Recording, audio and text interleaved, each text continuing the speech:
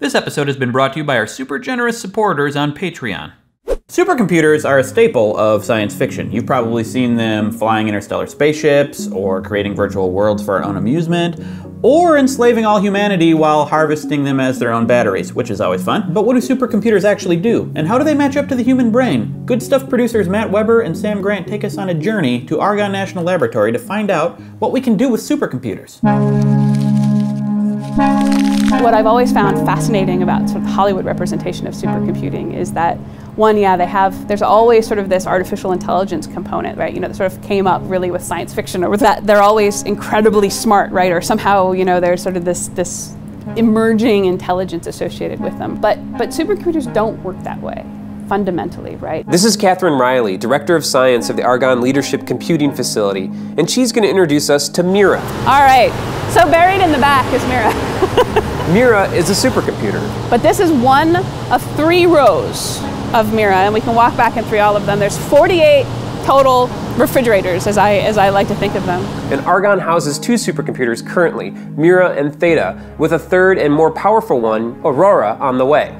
At Argonne, there are no artificial intelligences and no robot armies in the works, and no computer overlords scheming to turn us into living batteries. Instead, their supercomputers are doing something much more important science. So a supercomputer really fundamentally is, is a scientific tool, right? It's a tool we use for science and engineering to answer questions that we would not be able to answer otherwise. Not like it would take us a long time to be able to answer that question, but we probably wouldn't be able to answer it because it would cost too much money or it would take too much time. This is achieved by running a bunch of really, really high-powered processors in parallel. Think of thousands of laptops all working on the same problem. At peak performance, Mira operates at 10 petaflops and Theta operates at 9.6 65 petaflops. That means they're both capable of doing over 9 quadrillion floating point operations per second. The next generation of supercomputer, Aurora, should be able to operate at an order of magnitude above Theta and Mira. But why do we need all these petaflops? So we use supercomputing to do experiments. They're theoretical experiments, but they're experiments. And, and we try to use supercomputing to not only do those experiments, but get to the answers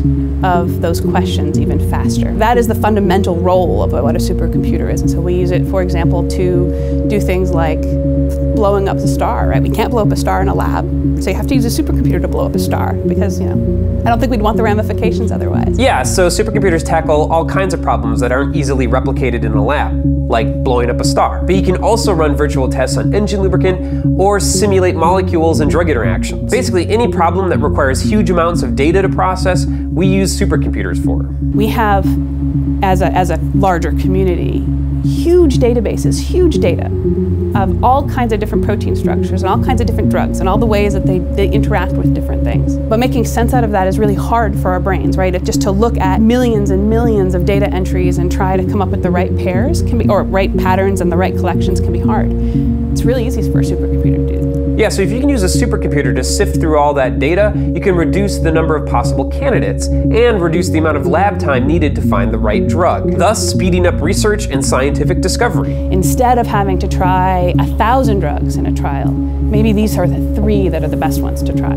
So it goes, it brings that space down really small. Another really good example we use on the time and money is car design. Our cars today are, are incredibly more safe than they were 30 years ago. They're incredibly better designed. And the transition, one of the key parts of that transition, was that car manufacturers started doing simulations for understanding things like crumple zones and safety characteristics. If you had to do a full experiment, build the car and crash it to see how it would behave, maybe that's a million dollars a shot. But instead, can you do that in an hour on a computer and get a, an answer you believe? Suddenly, you can make much more progress. Instead of having to spend months building, running the experiment, and then hitting reset, you're getting an answer in, in a day that might have taken you a year. As supercomputers give us more answers faster, we can ask more questions. This accelerates innovation. It's, it's kind of astounding it's really exciting when there's a question that you've been trying to ask for a long time and that suddenly you have the capability to answer it and, and actually kind of fast. That's breathtaking. So the, what excites me the most is you have, you have a question and maybe you were doing part of that question because part of that question would take you six months to answer. And so you're still doing it because you want to answer the big question, right? So it's six months. But you switch, right? And you switch and you, you, you you explore supercomputing and you realize that, well, instead of six months, I'm getting my answer now in half an hour. Half an hour.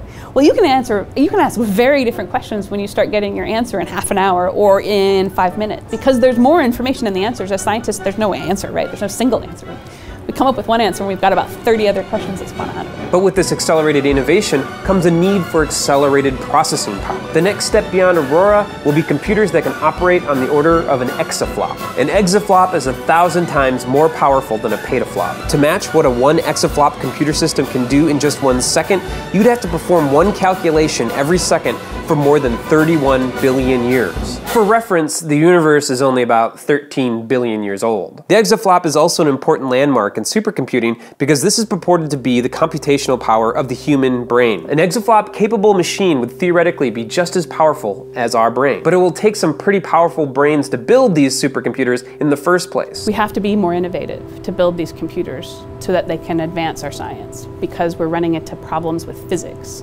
Like it's, just, it's just harder, right? We're, we're getting down to parts on these chips, which are like the size of an atom, right? Like, at that point, physics really starts taking over. So you have to be more innovative. We're having to be more clever.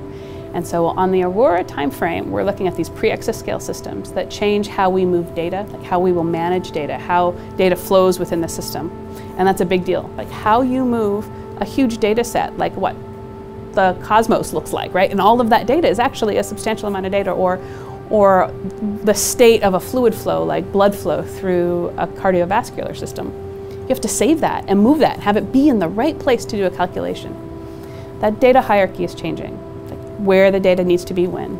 And that's one of the biggest challenges as we go forward. But even with all these advances, we still can't touch the human brain. While some next generation supercomputers might be able to approach the computational power of our brains, they'll never be able to replicate it. In fact, we wouldn't want a supercomputer that mimics the brain at all. Our brains are messy, they're analog, the hardware and software in the human brain is all mixed up. That's not to say our brains aren't really good at what they do. They're spectacular at making new connections, rewiring themselves, and being infinitely flexible. But running mathematical equations and processing massive amounts of aggregated data just aren't our forte. That's what we need supercomputers for. We need them to be efficient, predictable, logical machines in other words, we need them to be everything our brains aren't. So artificial intelligence and sentient supercomputers in movies and TV may make for good science fiction, they are bad for actual scientific discovery.